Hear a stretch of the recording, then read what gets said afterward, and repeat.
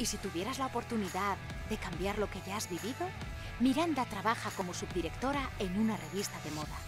Miranda es feliz junto a Tristán, por eso no entiende que la esté dejando.